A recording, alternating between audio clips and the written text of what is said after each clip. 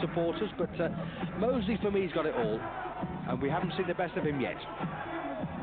The best, I think, uh, for Roy Jones came when he fought and uh, completely destroyed James Toney, And of course, since then, he's had a, succession of uh, decent defences, no doubt. But Mosley is the man for my money. Don't forget, he became the undisputed welterweight champion when he beat Oscar De La Hoya, and he won going away against De La Hoya. Former IBF lightweight champion made uh, eight defences of that title, and this is his third defence of his WBC crown. Beat some good lads as well. Beat Phillip Holiday to become the IBF lightweight champion back in 97. Juan Molina was one decent defence. James Leija was another. And Golden Johnson, another. Also a couple of non-title fights that uh, stand out. He beat Wilfredo Rivera a 10th round knockout. And Willie Wise he beat in three. And last time, of course, on British Eurosport, we saw his previous defence against Shannon Taylor, the Australian. And here he is taking on Bristol's Adrian Stone, who began his professional career in New York, having competed at a high level in the amateur ranks in Britain.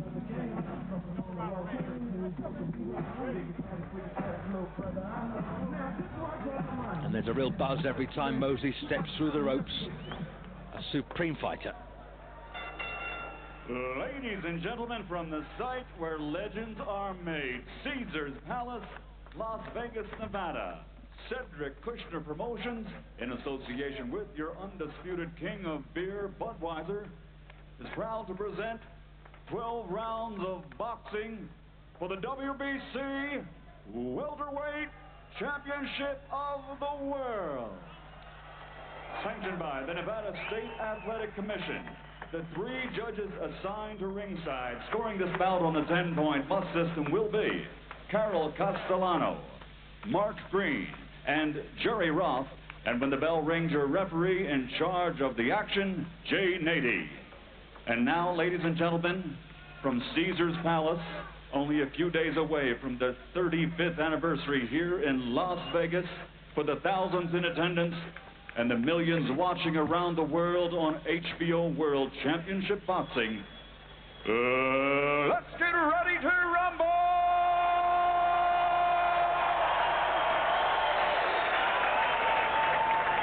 Introducing first, fighting out of the blue corner, wearing the tiger stripes and weighing in at 147 pounds.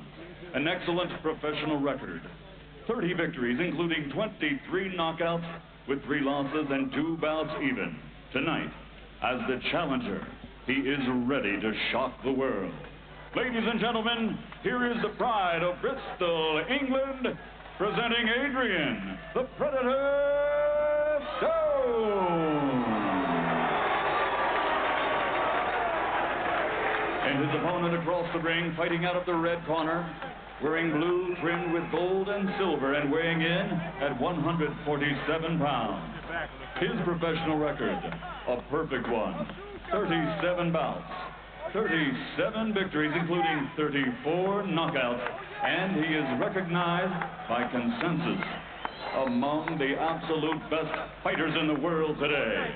From Pomona, California, the two-time world champion and reigning and defending undefeated WBC welterweight champion of the world, Sugar Shane Mosley.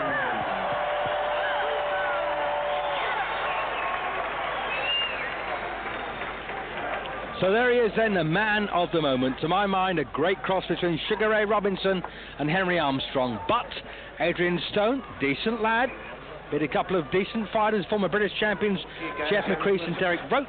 And last time out, had a very, very good fight with Joe Townsley from Scotland. Won that one on points over 12 rounds. But it really does put Stone into perspective here against Mosley's perfect 37 fight record. Um, and it's a very, very hard job against a real class act. And uh, interestingly, Adrian Stone's one of his finest wins came in his professional debut when he beat Sean Daughtry on points over four rounds. And here he is up against it against Shane Mosley. So, Here we go then. Jay Nady, our referee, and one of the judges, by the way, London taxi driver Mark Green. What a moment for him.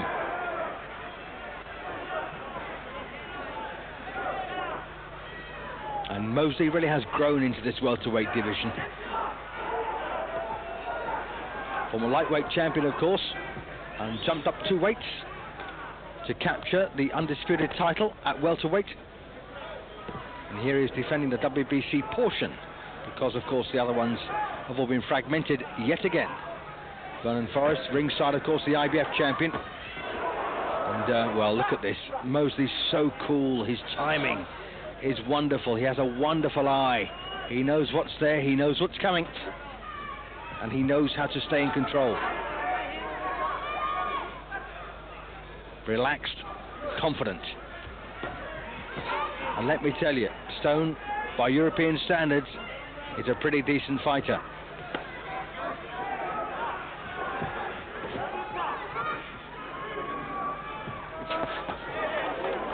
Little right there from Stone, clipping Mosley.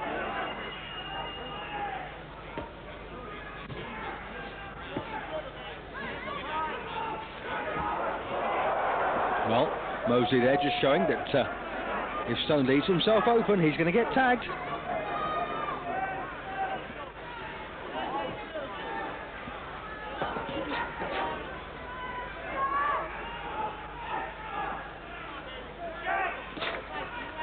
Nice jab from Adrian.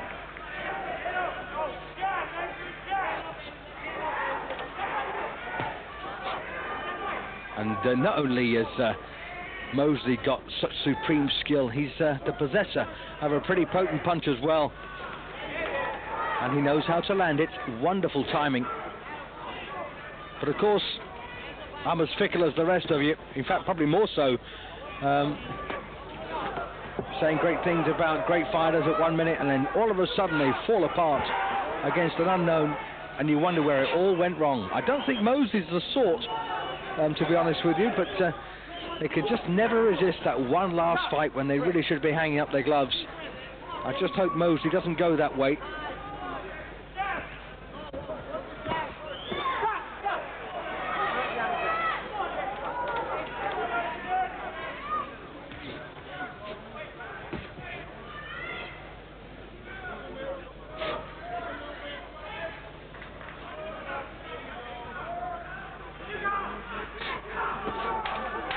And that lovely deft little movement of the head there from Mosley, just keeping himself out of trouble.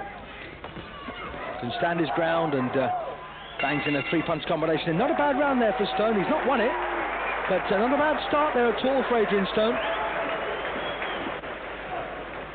Okay, Shane. Continue to relax. Doing a great job up there. Just give me a little more jab. Off the line. Okay, he's, he's looking to counter. Okay? Those are some good body shots. Put some ice on my neck. if you do that Oh, the yeah, time. little, little like yeah. Some good body shots. Circle into your right. When, when you're inside, punch, baby. All right. You're there, don't, don't. This is just another fight, Adrian. Okay, baby? All right. Come on, let's do it, man. Double pump the jab. Yeah. All right. Okay, double, double your jab. Keep it right Well, Joe Rivera, they're just telling Stone he's just another fighter, but of course he's not. And Adrian Stone knows it. All right? Eh, what a job that uh, Stone has got in his hands here. Shane Mosley, a great, great fighter, and uh, would have been probably in any era, just like Roy Jones would have been. So this is round two of a scheduled 12. Shane Mosley in those uh, blue and silver trunks, bit of gold as well, and of course uh, Stone known as the Predator, out here trying to. Savage Mosley. Such fast hands as well, Shane Mosley. Look at that left hook. Follows a very quick right hand a bit, uh, bit of a moment ago.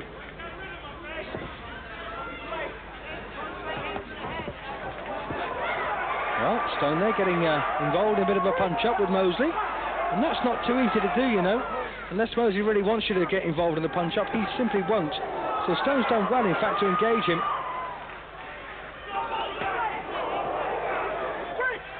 And obviously responding to Joe Rivera in the corner there, Mosley. But a timeout here from Jay Nady. Nice head up, okay? Don't hit on the break. You gotta stop punching I say break. Understand? Time. And maybe one of the worst things he could have done was wind Mosley up. And as I say, Stone responding to the cornerman there who said, hey, he's just an ordinary fighter. Of course he's not, but uh, he wants Stone to get out there and don't be intimidated.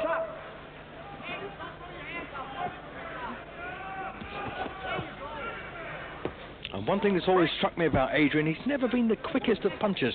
Seems to labour at times.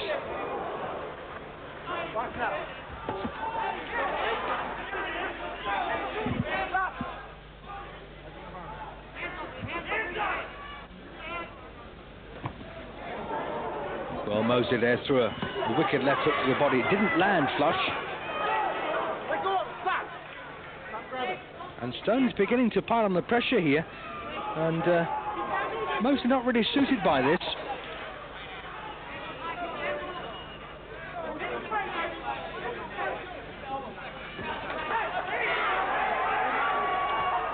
Oh, look at the speed of Mosley's feet and hands. Oh. Well, a very awkward punch there. Big scything right hook from Mosley on the inside. And he really does fancy getting rid of Stone now. And who can blame him? Stone's looking pretty dangerous.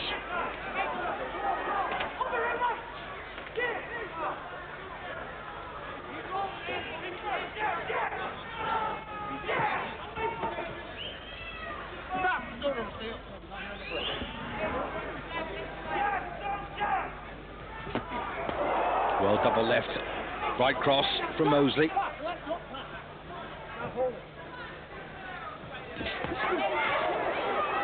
And of course, the danger is for, for, for men of Mosley's class is they, they tend to run out of competition at some point. Oh, good left hook there, catching Adrian Stone. Caught him flush in the face there. No great body behind it, though. And there's the bell to end uh, round two, and not a bad round once again for Adrian Stone. Mosley's probably won it, though. Let's get yourself going, Adrian. Don't wait for this guy. All right, all right. Don't wait for him. Don't wait for him, right? When you're inside, Adrian, rough him up. Okay? Rough him up. Give me your. So, word, you're following him. Cut him off. Don't follow on, him. baby. Give him the angle. Deep breath. Now Gavin there telling the uh, Fight. You're nice. telling Stone not to uh, follow him, but to cut him off. But of course, the major problem is that it's not actually Mosley going back, is it? He's trying to rough you you know what I mean? You know, but just like I say, The old man, cool as a cucumber, isn't he? Just continue with it, all right? But don't go across to the wind. You know what I'm saying? Okay, All seconds out, guys. So round three then of the scheduled dozen. And uh, let's see if Adrian Stone can get the kind of start he had over the first couple. Keep himself in this one.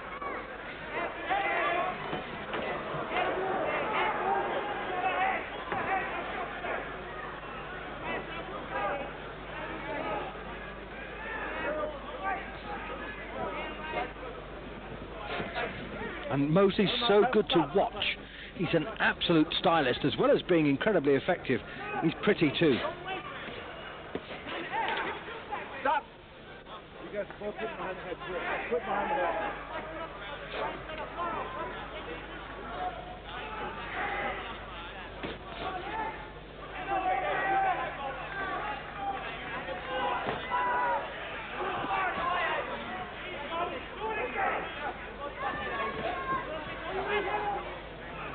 Bit the support, of course, at the pavilion in Caesar's Palace for Adrian Stone, including Chris Sanigar, who manages the Bristol boys down there.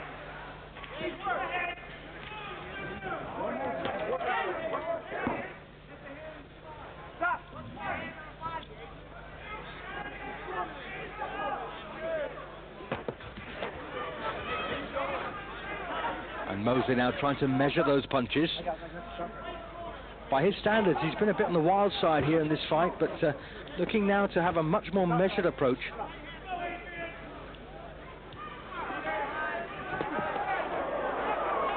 And once again, the incredible speed that Mosley has.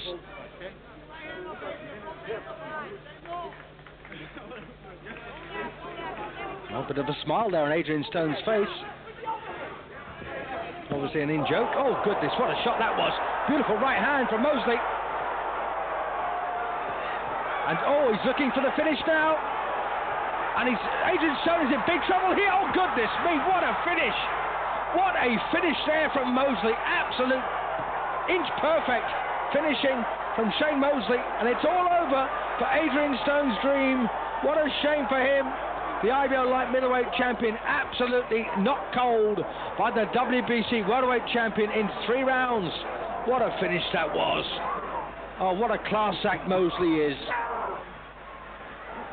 Well, quite rightly, allowing Stone to try and recover on the floor there. Oh, what a class act this fella is, isn't he? Well, he's actually saying to Adrian Stone while he's laying down, good fight, man. And he's a nice guy too, isn't he? Wow, what a class act in every way. And I just hope one day I don't read something bad against Shane Mosley because I'd be awfully disappointed. I, you know, no one's perfect, of course, but uh, he seems such a great ambassador for the sport and such a wonderful exponent of the noble art of self-defense. Fantastic fighter. As I say, he, I prefer him to Roy Jones, not because Jones isn't a great fighter, because he clearly is, but so, you get so much more with Mosley, don't you? Watch this again. The first right hand was an absolute belter. It knocked the senses out of Stone. Bang, that was it. And poor Adrian didn't know where he was. And watch the follow-ups here inch perfect. He doesn't waste much. Prods away with the jab. Missed a big wild left hook to the body, but the big booming right to the head.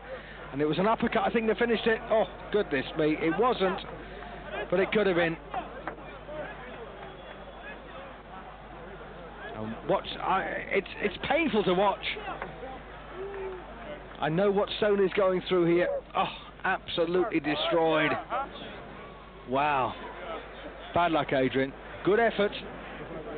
As good as anyone out there could give. And don't forget, Vernon Forrest took 11 rounds to beat Adrian Stone. Jay Nady waves off the count of 10, pulls a halt to the bout immediately with a knockdown.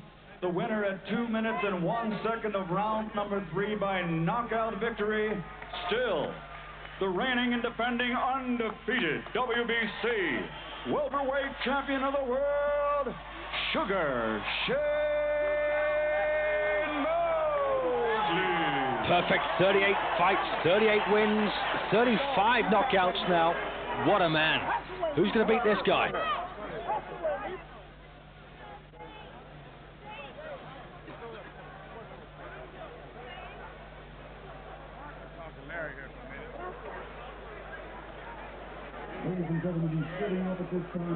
All right, let's take a look at the end of the fight, and you describe uh, how it unfolded, please. Yeah, that's the right hand. That's what started it.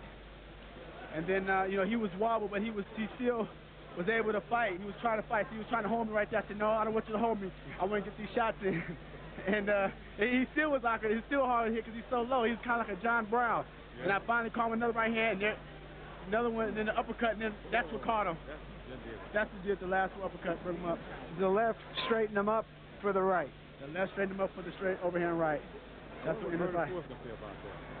Well, I mean, he's the IBO junior middleweight champion. Oh boy, that's, down, that's really important. Yeah. He carries more weight than I do uh, no normally, so uh, I figured that you know he was a tough opponent, and being that he went 11 rounds with Vernon Forrest and uh, gave him some problems, I believe that you know he was a pretty tough uh, opponent. But you know, I know we we've uh, we've talked about you know up and coming fights, maybe me moving to 154 and uh, taking on Oscar De La Hoya, and well, uh, the rematch.